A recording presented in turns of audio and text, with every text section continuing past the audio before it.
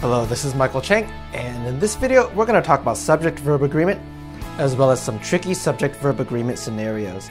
There's also a transcript of this video below, so you can read it and look at the examples at your own pace.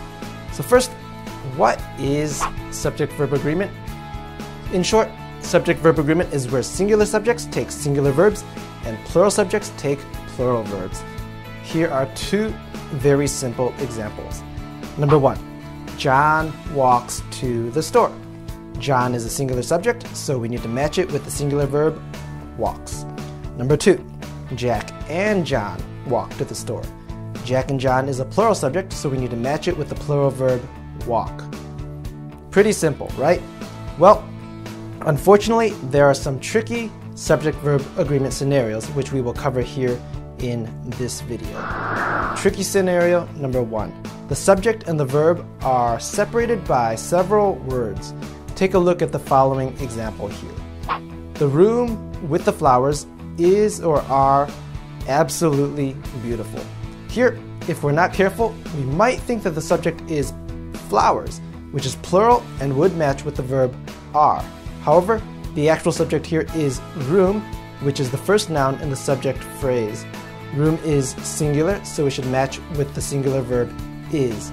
The noun that you should match with the verb should be the first noun in the subject phrase. So make sure you always trace the subject phrase all the way back to the beginning before matching it with a verb. Tricky scenario number two. Collective nouns can be either singular or plural. Take a look at the following example. The group of students is or are walking to class. Here, group is the subject, and group is singular, so we should match with the verb is. But the problem is it can be easy to get confused here because the word group looks like it should be plural because a group consists of more than one thing. There are several other words like the word group that usually take singular verbs such as class, family, committee, and staff. And unfortunately, it gets even more tricky because sometimes these collective nouns can actually be plural if they're referring to individuals within the group, such as in the following sentence here. The class is or are tuning their instruments. But here's the trick. If you can add the word members after the verb, the verb is going to be plural. So for example, the class members is or are tuning their instruments. Tricky scenario number three. A plural subject joined by and might be separated by a lot of words. Take a look at the following example here the old store at the corner of the street that sold delicious muffins, and the building at the far end of the university is or are going to be renovated next year. Here, there are two different subjects that are joined together by the conjunction and, so they need to take a plural verb are. This example can be tricky though, because there are so many words that separate the subjects from one another and from the verb. Tricky scenario number four singular indefinite pronouns. Indefinite pronouns that end in one, such as anyone, everyone, no one, and someone, that end in body, such as everybody, somebody, and nobody, and thing, such as everything, something, and nothing, as well as the word each, are singular and always take singular verbs. For example, we would write the following Everyone is or are sitting in his or their seat. Nobody has or have fallen down. And finally, each of the animals is or are unique.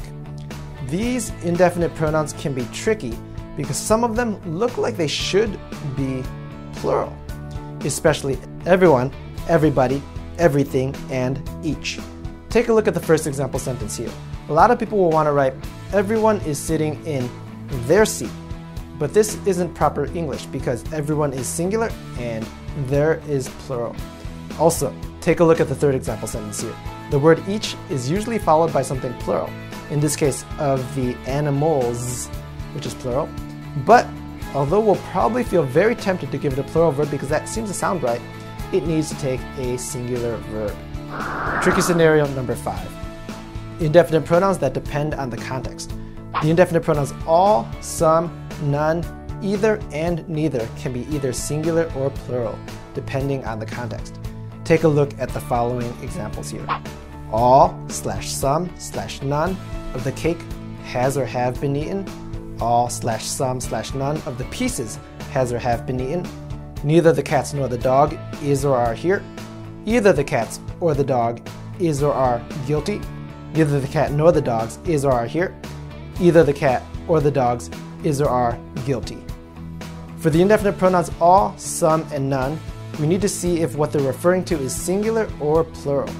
In our examples here, cake is singular and pieces is plural. For the indefinite pronouns either and neither, they're going to almost always take singular verbs, even though we're going to be very tempted to give them plural verbs because they're referring to more than one thing.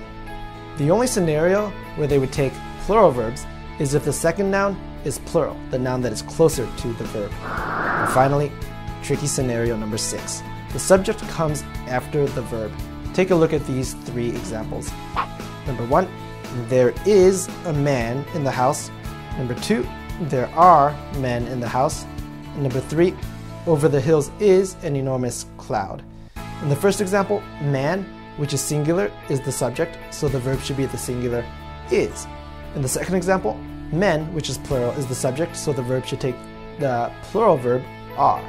And finally, in the third example, cloud, which is singular, is the subject, so the verb should be the singular is. So, that's all we're going to cover for subject-verb agreement here in this video. And if you know all of these tricky scenarios, you'll be able to identify and correct almost every single subject-verb agreement error you will ever encounter.